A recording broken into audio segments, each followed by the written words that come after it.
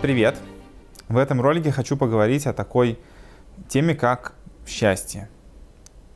В принципе, каждый человек э, стремится к счастью в какой-то степени. Это то, чего он на самом деле желает, это быть счастливым. И какие бы цели перед собой человек не ставил, какие бы задачи, там, статусы, вещи, способности и так далее, все это просто попытка э, обрести счастье, вот быть счастливым. В чем же заключается счастье человека и почему счастье заключается именно в том, о чем я скажу. А,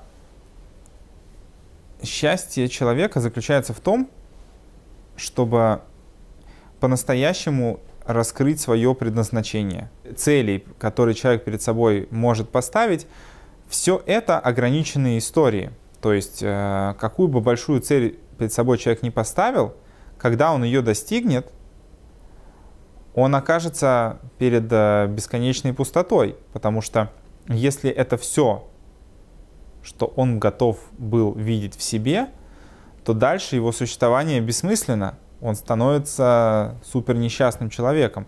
Как, например, можно так сказать про деньги. По-хорошему, многие из нас э, ставят в себе какие-то цели, и когда мы идем к этой цели и достигаем э, реализации этой цели, мы себя чувствуем счастливыми, потому что вот я смог чего-то достичь, я смог раскрыть э, в себе какую-то сторону, но при всем том величии человек ставит себе цель там, заработать миллион, хорошо, он идет, пока он движется к этой цели, пока он э, каждый шаг, который приближает его к этой цели, делает его более счастливым. Какие бы страдания, мучения ему не приходилось преодолевать ради этого, все, что приближает человека к этой цели, делает его счастливым. Да, он хотел бы, чтобы было более легким, но пока этот шаг работает, пока он приближает к его цели, он на него пойдет. И это будет приближать его к его счастью.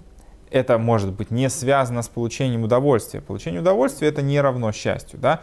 Получение удовольствия это в данный конкретный момент ощутить какой-то а, там минутный кайф. Оно в принципе не может а, длиться долго, потому что удовольствие это то, что заканчивается. Человек не в состоянии получать удовольствие от какой-то вещи бесконечно, она удовольствие надоест. От еды, от всего что угодно. Даже любимое блюдо полученное в неограниченном количестве, опротивит человеку очень быстро. И как раз наоборот, дозированное удовольствие сохраняет связь с вещью дольше. А счастье это то, что человек может испытывать постоянно. И пока человек занимается раскрытием, реализацией своего предназначения, своей поставленной задачи, он будет чувствовать себя счастливым. Но когда человек достигнет этой задачи, э, когда он ее э, реализует, окажется, что он находится в какой-то пустоте. Чем более ограниченную человек перед собой задачу ставит, тем меньше тот уровень счастья, на котором себя человек будет ощущать. Потому что человек, который был создан как часть всего мира, который называется малым миром, когда он ставит перед собой какую-то очень узкую ограниченную задачу, получается, что э, он э, реализует себя только на какой-то мизерный процент. И если мы говорим о том, что потенциал человека практически безграничен, как он порождение Творца, то и э, уровень счастья, который человек может испытывать, он на самом деле тоже таков. Поэтому, если человек хочет э, по-настоящему испытать счастье, то как бы это сейчас просто не прозвучало, и, может быть, кого-то это оскорбит в своей э, как бы такой простоте, по-хорошему человек должен стремиться к тому, чтобы раскрыть свой потенциал, ради чего он пришел в этот мир, ради чего Всевышний его создал. Реализовать то, ради чего Всевышний создал этот мир, ради чего человек пришел в этот мир, и двигаться в сторону того, чтобы прилепиться к Богу. Кажется, что это скучная, неинтересная задача, и никакого счастья в ней вообще нет – Такое отношение есть у нас, во-первых, потому что мы в большинстве своем никогда не пробовали делать ничего подобного. поэтому не видим в этом никакого результата. То есть стать инженером кто-то пробовал, да, а может быть кто-то даже и стал. А, достичь каких-то жизненных а, высот тоже нам понятно, мы видим, как люди на это опираются. Но вопрос, насколько по-настоящему это способно сделать человека счастливым. Э, и приобретая эти вещи, если человек там ограничивает свою там, жизнь, э, реализацию своего как бы, потенциала, человек ставит равной тем суммам денег, которые он может заработать, получается, что все, что человек есть, это только деньги. И все, что остается за кадром, там отношения хорошие, там то, что э, люди его ценят, то, что он будет испытывать поддержку, все, что есть в этом мире, все что хорошее, что он может сделать, если человек ограничивает это э, только материальными вещами самими в себе, то и счастье, которое он может испытывать, оно тоже ограничено. С другой стороны, если человек будет искать, каково же его настоящее предназначение, зачем Всевышний его в этот мир послал, и человек будет пытаться э, искать это всю жизнь, то каждый шаг, который будет приближать человека э, вверх в сторону э, бесконечного Творца, э, будет э, делать его счастливым, несмотря на то, что человек может там, жить всю жизнь. Вот многие люди задают вопрос, как вот вообще такая тема происходит, что там э, религиозные люди живут в какой-то там, варятся в своей каше, там человек там посвящает время изучению Торы. Сколько там и Торы это уже есть. Там пятикнижие можно прочитать за достаточно короткий период времени. Даже Талмуд можно весь изучить. В чем вот этот смысл бесконечного изучения, все это в глубину и так далее? Ну, как бы, хватит уже, остановись на каком-то этапе. Ты и так уже умный, ты и так уже там, никто лучше тебя этого уже и так не знает ты сидишь там целый день, там ты пошел там помолился и так далее. В чем вообще прикол такого существования вот в рамках религиозного сообщества? Неужели человек, не ставящий перед собой цели там перевернуть весь этот мир, может быть счастливым?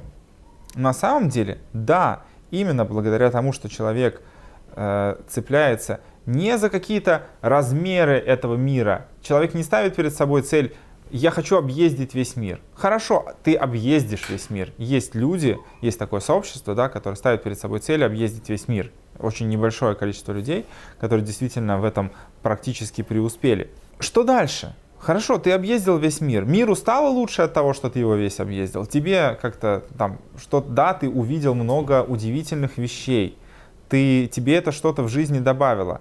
Но насколько это повлияло на твое как бы, перманентное счастье? Хорошо, пока ты едешь в какую-то новую страну, ты счастлив тем, что ты достигаешь реализации поставленной перед собой задачи. Но что дальше? Ты посетил эту страну, ты посетил все страны в мире. Ты придумаешь себе новую цель посетить как бы их, их повторно, второй раз, улететь на Луну. Каждый раз, когда человек ставит перед собой цели, э, рамки которых ограничены, и смысл в которых достаточно ограничен, достигая их, он э, перестает быть счастливым человеком.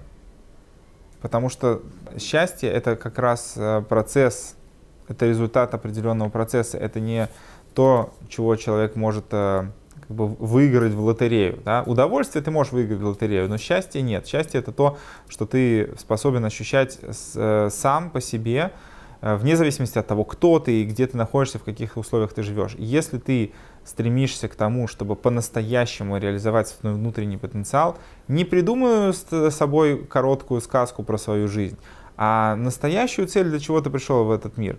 Может быть, ты сейчас еще не знаешь этого, что от тебя Всевышний хочет. Тогда иди, ищи это. Каждый шаг, который будет тебя приближать к пониманию того, э, э, что ты способен сделать и какие силы тебе Всевышний дал в, в том плане, что ты можешь сделать из этого мира, будет э, давать тебе э, возможность ощутить себя счастливым на намного более высоком уровне. Это как все равно, что человек, который поставит себе цель, э, чтобы стать э, известным, э, например, там, певцом, он будет ощущать счастье, когда он там выходит на сцену, и когда там к нему подходят поклонники, какой ты классный, мы тебя так любим, ты там изменил нашу жизнь, человек будет ощущать свое счастье. Но по ошибке, не знаю, по, перепутав концертный зал, придя вместо там э, рок-концерт на, э, на, в, в, в оперу, э, где вообще его никто не знает и никому он не нужен, человек будет испытывать максимальную степень несчастности, что он никому здесь не нужен вообще, и все будут раздражены тем, что он пришел сюда, зачем ты вообще нам нужен, да, ты вообще то, что ты делаешь, даже музыкой нельзя назвать. Человек будет максимально несчастен. А, представьте себе, насколько, например, если человек стремится к тому, чтобы быть нужным, быть ценным а, в этом мире, представьте себе, насколько, какой уровень счастья человек может испытывать, когда он нужен не просто там, самому себе, не просто там, своей семье, не просто своим друзьям, а когда он нужен Творцу Вселенной. Он нужен всему мирозданию, всему человечеству ощущение этого способно сделать человека счастливым на таком уровне, на котором это сложно себе даже представить. И достижение этого счастья не связано с тем, что человек должен прыгнуть на седьмой этаж, не с тем, что он должен там нырнуть в глубину океана и достичь дна во всех местах, где это возможно. Можно, находясь в том же состоянии, в котором ты есть, просто делая то, что реализует твою связь с Богом, но делая это по-настоящему хорошо, по-настоящему выкладываясь на максимум, человек может достичь невероятного уровня счастья и жить всю жизнь счастливой жизнью, какие бы невзгоды его не постигали. Поэтому стоит стремиться только к настоящему счастью, опасайтесь подделок. Э, если кажется, что это не так, можно попробовать. Это бесплатно.